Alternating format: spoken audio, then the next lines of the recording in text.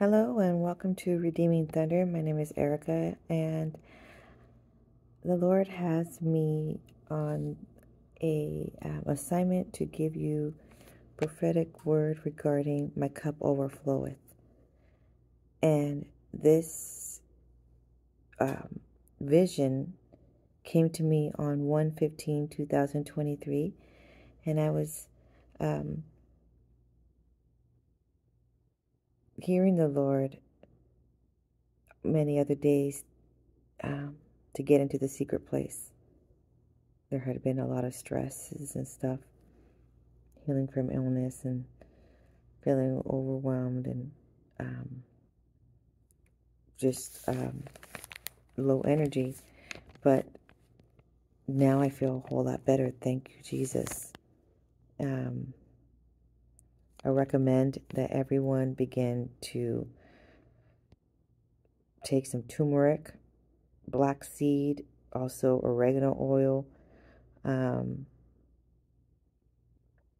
those are the key, the key um, herbs. Also, to help with um, you have nerve pain. Let's say uh, if you do, um, vitamin B12, magnesium, and try to find the one that says magnesium um, complex. And there was another one, lysine and, oh, arnica.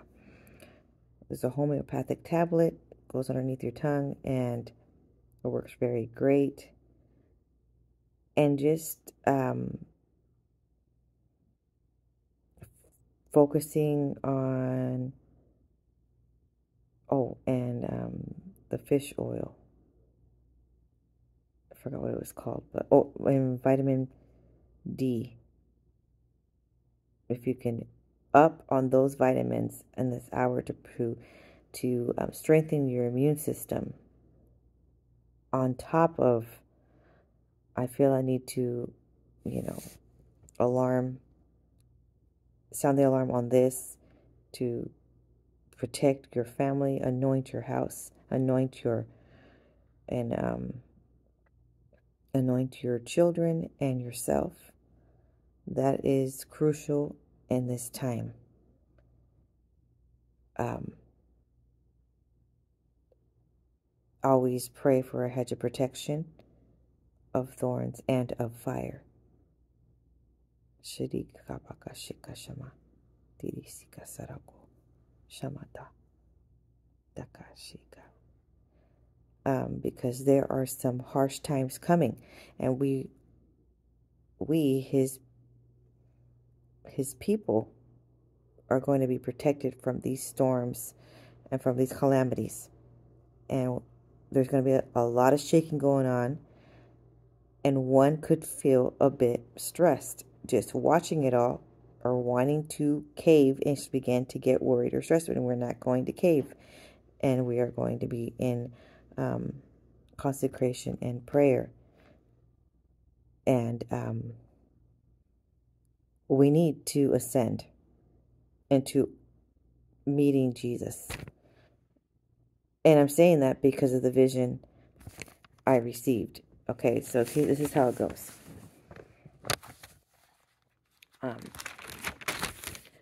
I was worshiping the Lord while I was cooking, or just singing a song, and then I saw, suddenly I saw in the spirit, a huge Jesus coming from the sky.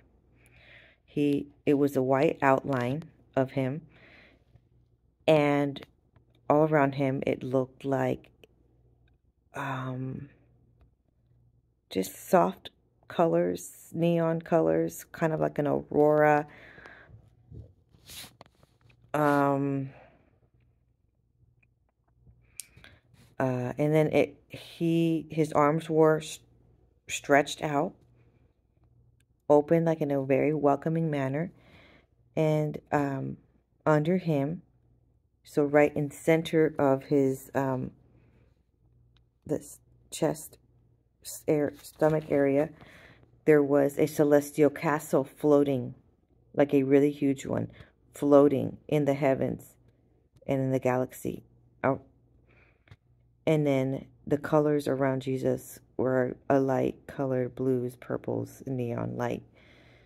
And there were some twinkling stars. And the castle was so bright white. And it was illuminating this light from inside the the palace. And then the um there was bright light illuminating from out the outside of the palace. And it was made of gold and crystal cathedral architecture. And it was very beautiful celestial glory. In that moment when I was seeing that, I felt the Holy Spirit very strong and I was receiving goosebumps while I was praying and receiving that vision. And I drew a picture. It's not really good because I did it really quickly and so I wouldn't forget. I don't know if you could see it. But you can see the castle inside. Okay. Ouch. Okay, so then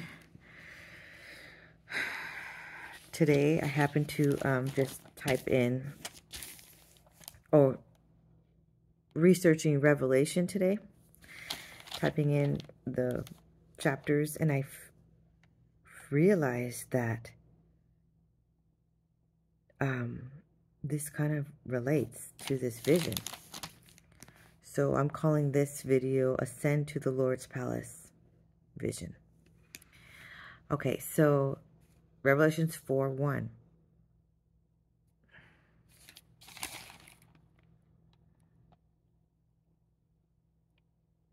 I don't know what that first word says, but okay. This I looked, and behold, a door was opened in heaven, and the first voice when I heard was as it were a trumpet talking with me, which said, Come up here and I will show you things which must be hereafter. So then this corresponds to Ezekiel's vision. And it references Matthew 3.16, Acts 7.56, and 10.11. And so the heavens divide, and this door stands open the way. This is the Ellicott's commentary. The way into the presence of God lies open. All who have faith may enter and reach the heavens, heavenly viewpoint.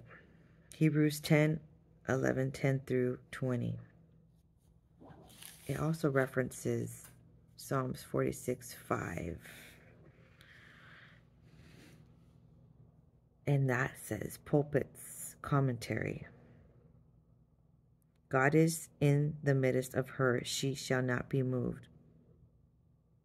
Okay, so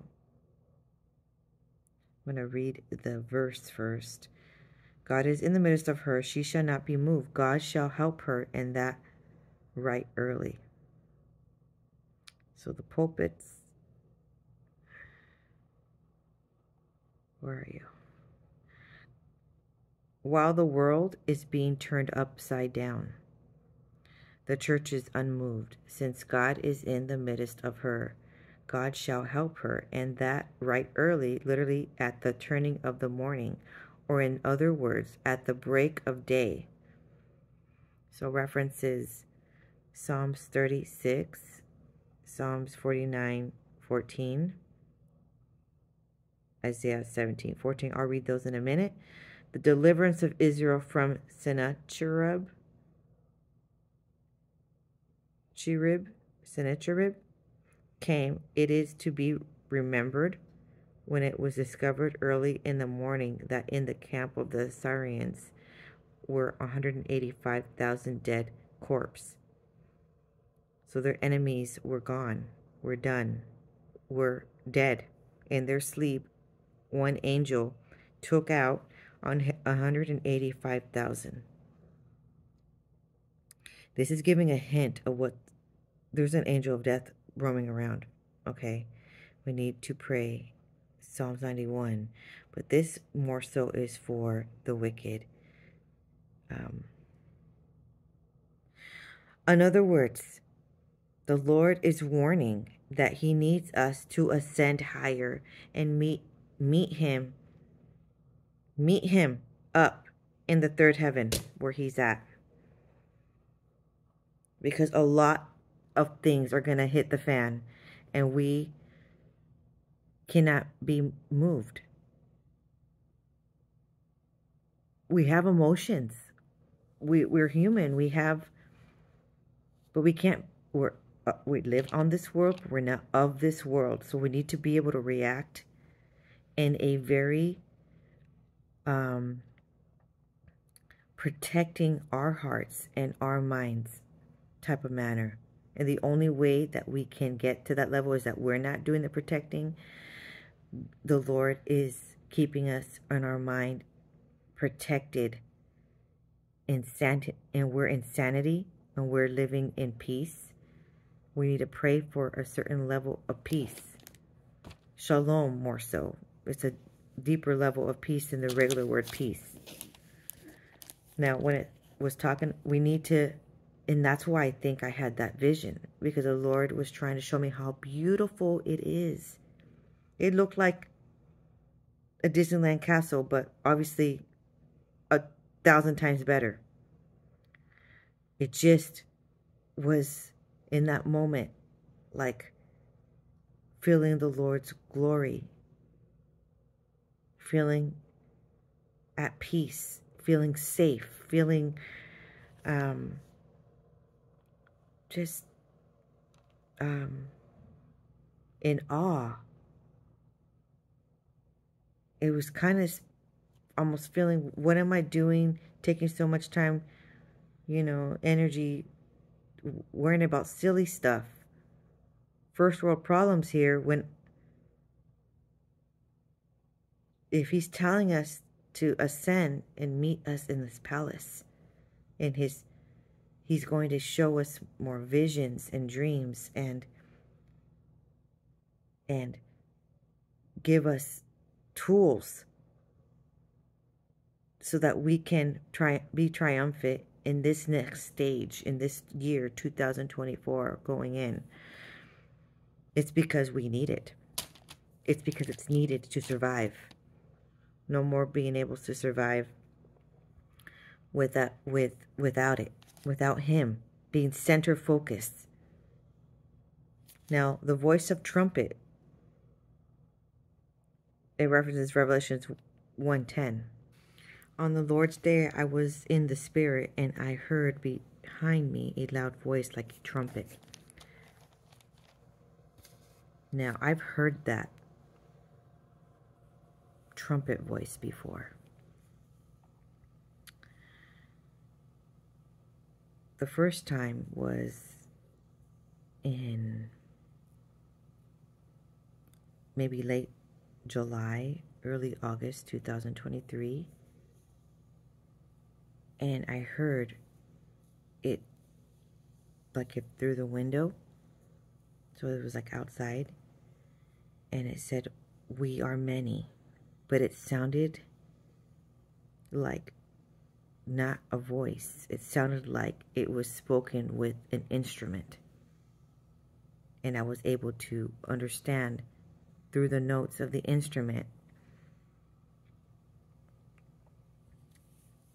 but it also sounded like from very far away. So, um,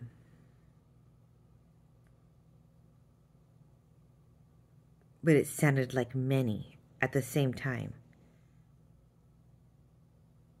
Okay, so uh, that startled me a little bit because I, you know, I've never heard that voice before in my entire life.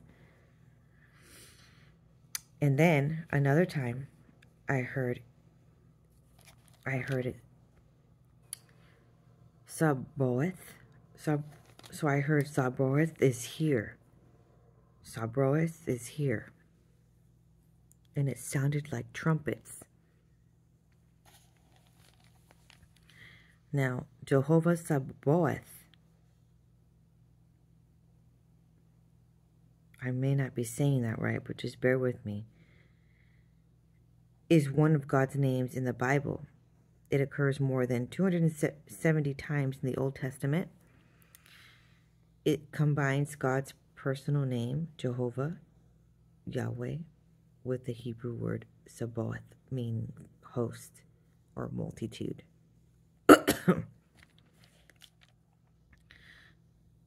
so Jehovah Sabaoth means the Lord of hosts. Sabroths. Maybe that's how you say it. Okay, so Sabroths often has, because I heard Sabroths. Um, military connotation, such as a group of fighting men or an army. 1 Samuel 17.45, Isaiah 13.4. Sometimes Sabroth refers to host of heaven, Psalms 148 2, 1 Kings 22 19, picturing God as Lord of the multitudes of angels, which are numbered as a thousands, thousands, and ten thousands times ten thousands. Daniel 7 10.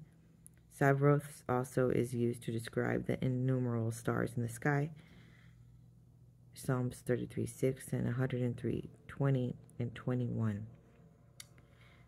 This says, the important thing about this name for God is that whether it is armies, angels, or stars, Jehovah Sabroths, the Lord of hosts, rules over all things both on heaven and in earth.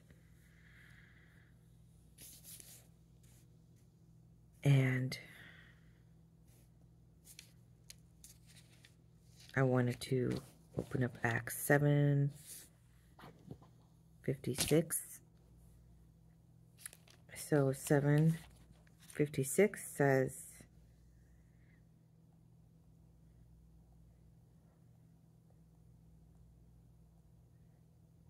Look, he said, I see heaven open and the Son of Man standing at the right hand of God. And then it's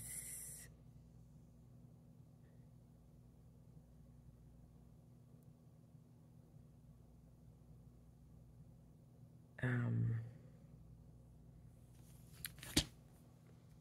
again, Acts 10 11, and saw heaven opened and a certain vessel descending unto him, as it had been a great sheet knit at the four corners and let down to the earth.